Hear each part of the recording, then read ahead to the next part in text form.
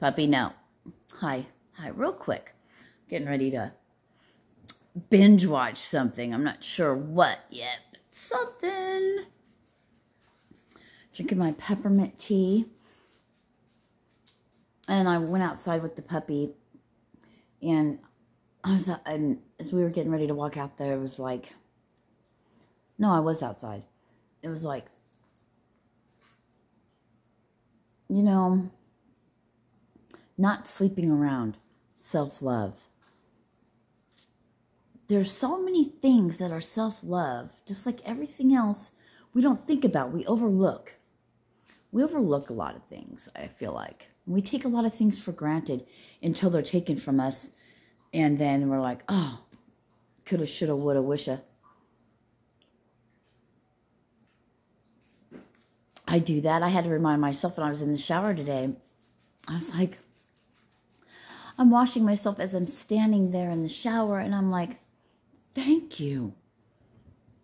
Thank you that I can stand here and wash myself. Thank you. We take these things for granted till they're gone. But noticing and realizing the little things it gives you so much more.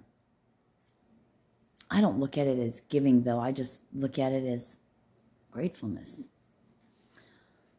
Um, doing my best when I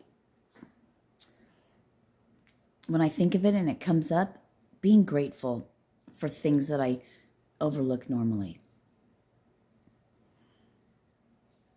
You know, um, so if you're celibate, that self love, self respect, if that's what you choose. Um, you know, not doing anything, even if it's for a second, for one time, that, that's still self love. Doing that one extra thing that you wanted to start, that you want to do, doing that, Sirena, are you listening? Yoga, hello. okay. I fucking get it. I'm not just talking to you guys. I'm always speaking to myself as well. Always. It's an us thing. As a people, as a one, as a one.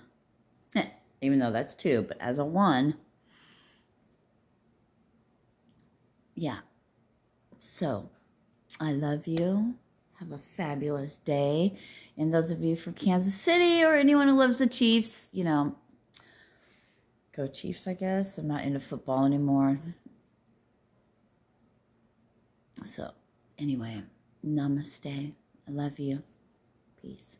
Deuces.